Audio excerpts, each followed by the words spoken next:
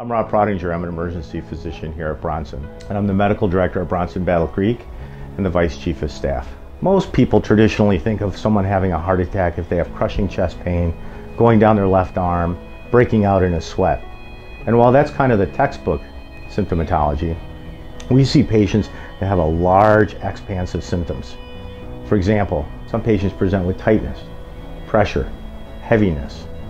They may have symptoms in only a shoulder they might notice that when they get up and, and climb a flight of stairs, they get profoundly short of breath and develop tightness. Some patients, and this makes it more difficult, present only with the symptom of worsening fatigue over a period of a week or two. We see that sometimes more commonly in women because women sometimes present with different symptoms than what men do.